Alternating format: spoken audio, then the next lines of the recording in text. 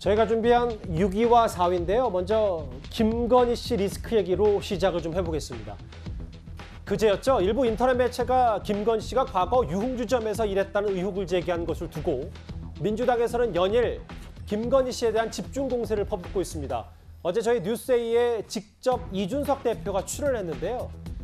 윤석열 후보의 목소리와 함께 같이 한번 들어보겠습니다. 뭐 답변할 가치도 없는 얘기고 네.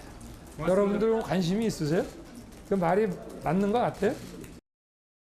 제가 봤을 땐 상대 당이라서 만들려고 하는 그 이미지보다는 네. 훨씬 더 대중적 호감도가 있을 수 있는 인물이다. 저는 결코 어, 민주당이 말하는 것처럼 그렇게 어떤 리스크라는 이름으로 불릴 만한 분은 아니다. 지금 정치권 여권의 집중 공격은 김건희 씨를 좀 향하는 것 같은데요. 이도하 변호사님. 예. 어제는 금태섭 전 의원이 업무에 진심인 분이다. 전시에 관련해서 좋은 인상을 받았다고 했고 어제 뉴스에 출연한 이준석 대표는 위험, 리스크라고 불릴 만한 분은 아니다라고 했거든요. 뭐 각자의 김건희 대한 경험이 있어서 하는 얘기인 겁니까? 예, 이제 이준석 대표도 사실 입당 전에 그 부분에 대해서 이제 논의를 하기 위해서 후보 자택으로 그쪽으로 찾아갔을 때 김건희 대표를 만날 기회가 있었다고 합니다. 그래서 예. 그때 뭐 얘기를 좀 나눌 기회가 있었는데 지금 말씀하시는 것처럼 리스크라는 그런 걸로 불릴 만한 분이 아니고 오히려 호감을 얻을 부분이 있다. 그래서 이런 부분에 대해서 그렇게 뭐 우려하거나 이럴 필요가 없다 이런 얘기를 하고요.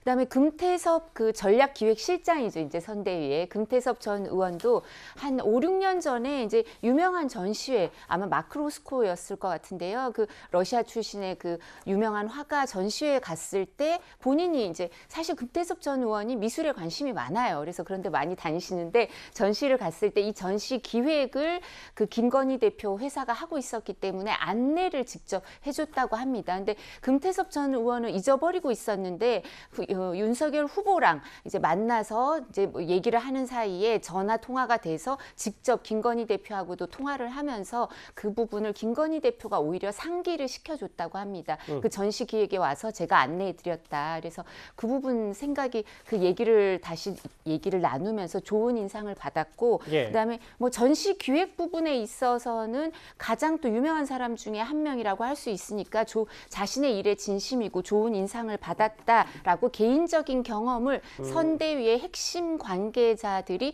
지금 전하고 있습니다. 음. 호감도도 있다. 뭐 얘기를 했어요. 당 대표 그리고 선대위 전략기획실장도요. 야당은 이렇게 얘기를 하고 그리고 김건희 씨는 시간표대로 움직일 것이다 이렇게 말하고 있는 반면 여당에서는 어서 나와라 공격 포인트를 삼고 있습니다. 당연히 조언, 조언 등장해야죠. 본인이 대통령 후보의 아내로서 또 대, 음. 대한민국의 영부인으로서 충분히 자격이 있다라고 스스로 느낀다면 예. 숨어 있을 이유가 전혀 없다고 봅니다.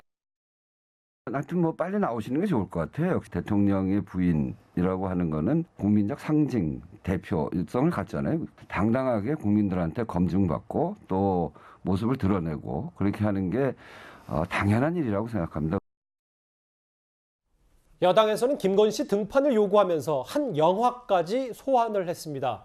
저희가 화면을 꾸며봤습니다. 지난 2012년 개봉했던 영화 화차는 가짜 삶을 살았던 한 사람의 이야기를 그리고 있습니다. 주인공은 괴로운 생활을 벗어나 새로운 삶을 살기 위해 연고 없는 사람을 죽이고 다른 사람의 이름으로 살게 됩니다. 이름, 나이, 가족, 그녀의 모든 것이 가짜로 탈바꿈한 것입니다. 타인의 기회를 빼앗아 가짜 삶을 살아온 윤석열 국민의힘 대통령 후보의 부인 김건희 씨 이야기입니다. 경쟁하는 당의 후보 부인에 대한 단순한 인신 공격이 아닙니다. 김건희 씨가 공인의 자격이 있는지 검증이 필요합니다. 민주당 현직 의원이 그것도 국회에서 어, 제1야당 대선 후보의 부인을 가짜 삶이라고 표현해서 영화를 소환했다. 공격 수위가 점점 높아지는데 어떻게 보십니까? 제가 97년 대선부터 이 대선을 지켜봤거든요. 아마 지금 이렇게 대선 후보의 부인이 전면적으로 이슈에 등장을 하고 부인에 대한 어떤 검증 이런 것들이 이렇게 핫 이슈로서 이야기되는 것은 아마 처음 같습니다. 이번 예. 대선이. 아마 그 부분은 이제 김건희 씨 같은 경우는 한 2007년부터 이른바 코바나 컨텐츠라는 회사를 운영했잖아요. 그렇죠. 그러다 보니까 사실 역대의 어떤 대선 후보 부인들 중에 이렇게 직장 생활을 하고 한 어, 그런 부인들이 뭐 거의 없습니다. 이제 그런 과정에서 여러 가지 이제 의혹들이 제기가 됐고 뭐 논문 표절 의혹이라든지 도이치모터스 주가 조작 의혹, 그 허위 이력 의혹, 또 이제 전시회 협찬 의혹까지 이런 것들이 이제 많이 제기가 되다 보니까 현재 민주당으로서는 이 김건희 씨가 이제 공개적으로 활동을 하게 되면 하나의 어, 공격의 포인트가 생긴다. 하나의 새로운 그런 이슈를 만들 수 있다. 아, 이런 이제 생각에서 어, 김건희 씨를 빨리 등장을 해라. 물론 이제 그 어, 박후에는 어쨌든 이뭐 장래의 이 영분이 될 수도 있기 때문에 그에 대한 검증이 필요하다라는 그런 명분을 내세우고 있는데 어, 여러 가지 이제 그런 의혹들 가운데 공세를 펼치다 보면 뭔가 좀 어, 좀 유리한 그런 환경을 조성할 수 있지 않겠느냐 이런 셈법을 갖고 있는 것 같은데 늘 작용이 있으면 반작용도 있거든요. 예. 상대적으로 아마 김건희 씨에 대한 공세가 집중되다 보면 또 김혜경 씨에 대한 부분도 이 국민의힘 음. 쪽에 공세가 나올 가능성도 좀 있지 않나 하는 그런 생각도 좀 가져보고 예. 저희는 이해를 돕기 위해서 민주당 의원의 영화 소환 잠깐 화차는 화면만 짧게 만나봤습니다. 장 변호사님. 근데 일각에서는 막상 김건희 씨가 등장을 하면 여당의 공격 포인트가 무뎌질 수밖에 없고 뭐 그걸 이끌어내는 게 지금 여권의 공격인지는 모르겠습니다만 현실이 되면 그게 앞으로는 쭉 논란이 이어지지 않을 것이다라는 전망도 동시에 있더라고요. 네, 뭐 어떤 전망이 됐든 지금 이렇게 논란이 있는 것 자체가 대선을 90일도 안 남은 이 상황에서도 영부인이 될지도 모르는 분이 아직까지 국민들에게 모습을 나타내지 않고 있다는 면이 그게 너무나 바람직하지 않은 거죠. 그리고 분명한 건 영부인이라는 것은 국민의 혈세로 그 자리가 유지되고 또 공적인 인물로서 공적인 임무를 수행해야 되는 자리인데 아직까지도 국민들에게 또 범죄 혐의를 받고 있는 또 의혹이 있는데도 해명하지 않고 그 의혹을 검증받지 않는다는 것은 사실은 납득하기는 좀 어렵습니다. 그리고 또 일각에서는 이 부분에 대해서 뭐 여성에 대해서 왜 이렇게 가혹하냐 이런 얘기도 하시는데 사실은 이건 여성이기 이전에 영부인이 될 수도 있는 분에 대한 검증이기 때문에 그렇게 보기는 좀 어려울 것 같고 그리고 이제 이렇게 길어지면 길어질수록 윤석열 후보에게도 별로 좋지 않을 것 같은 것이 이렇게 되면 국민 입장에서는 어 왜 진짜 못 나올까 정말 뭐가 있는 것은 아닌가라는 또 의혹을 또 우려를 갖게 될 수 있거든요 그런 면에서도 윤석열 후보 측에서는 빨리 배우자를 등판시키셔서 예. 검증받고 의혹을 해소하시고 그런 과정을 거치셔야 될 것 같습니다. 누구보다 김건희 씨 공격에 적극적인 건 바로 추미애 전 장관입니다. 이에 대해서 야당의 반경 목소리도 저희가 준비를 했습니다.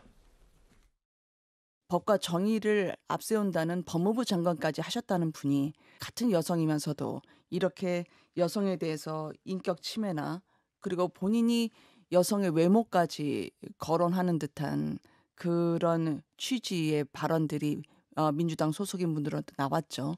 손혜원 전 의원까지 포함해서 저는 차라리 그 추미애 전 장관님을 민주당 소속의 국민의힘 공동 선대위원장으로 모셔야 하나.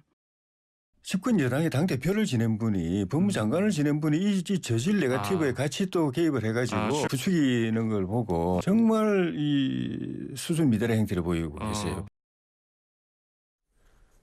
야권에서 수준 미달이다 추전 장관이 이렇게 공격하고 있는데 연일 SNS에 공격을 하고 있어요. 조국의 강은 바닥까지 긁어내고 다 파내도 표창장 한 장 남았다. 전공법으로 검찰은 김건희 수사해야 된다. 이렇게 추 전 장관 얘기를 하고 있습니다. 우선 추 전 장관이 뭐 기억이 조금 가물가물하신 것 같아가지고 그 조국 전 장관에 대한 그 팩트부터 다시 한번 설명을 해야 되겠습니다. 예. 아, 표창장은 굉장히 중요하지만 일곱 개의 그 자녀 입시 관련 가짜 스펙 관련해 가지고 하나일 뿐입니다. 나머지 여섯 개 해서 일곱 개가 아, 정경심 교수의 1심, 2심에서 아, 유죄가 선고됐고 아직 선고되지 않은 아, 조국 전 법무부 장관의 재판에서도 아, 유죄가 선고될 가능성이 있고 객관적으로 볼 땐 그럴 가능성이 오히려 더 크다고 봐야 되겠죠. 아, 추미애 전 장관이 얘기하는 건진요, 이제 타진요라는 거에서 나온 이름인데 타블로에게 진실을 요구합니다. 타블로, 당신이 정말 스탠포드 대학, 대학 나왔어? 그럴 리가 없지. 그건 거짓말이야. 그렇게 공격을 하니까 스탠포드 대학에서 아, 그 타블로가 우리 학교 나, 나온 거 맞습니다. 확인까지 했습니다. 그래도 안 믿어요. 그들한테는 이게 어떤 하나에 보면 신앙이라고 할까요? 지금 그 김건희 씨가 이미 그 뉴스버스하고 인터뷰에서 그런 사실 없다고 명확하게 얘기를 했습니다. 그렇지만 안 믿고 계속 얘기를 하는 거예요. 유흥업소 종사 의혹 말씀. 그렇습니다. 그래서 어, 언젠가는 목격자가 나올 거야. 역시 기대대로 목격자가 나왔죠. 근데 목격자가 너무 티미해요.